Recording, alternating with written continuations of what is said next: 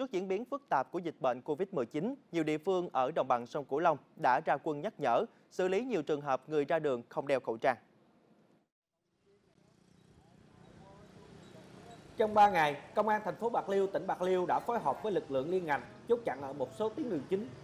Tại đường Ninh Bình, lực lượng đã phát hiện nhiều trường hợp người dân không đeo khẩu trang khi ra đường.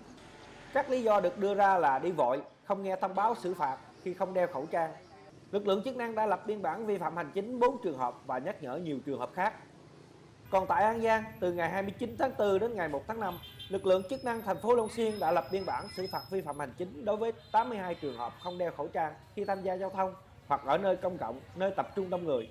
Khu vực Miếu Bà Chúa Sứ thuộc thành phố Châu Đốc, lực lượng bảo vệ đã lập chốt nhắc nhở người dân đến thắp hương phải đeo khẩu trang, rửa tay sát khuẩn.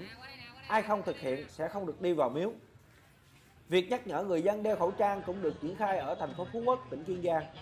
Du khách đến chợ đêm sẽ được các đoàn viên yêu cầu thực hiện nghiêm việc đeo khẩu trang nơi công cộng và rửa tay sát khuẩn.